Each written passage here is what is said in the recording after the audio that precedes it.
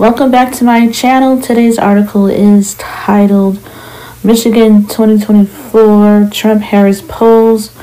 Trump erases Harris's lead. This one is by Forbes. This one is posted on October 29 of 2024. Former President Donald Trump leads Vice President Kamala Harris by one point in the latest Emerson poll released Tuesday within the margin of error.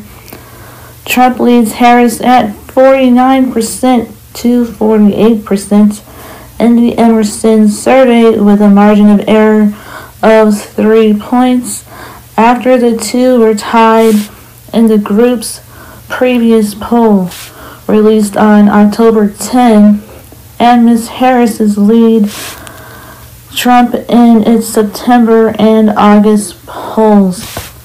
Ms. Harris leads Trump at 49 to 46 percent in a Quinnipiac University poll published Wednesday.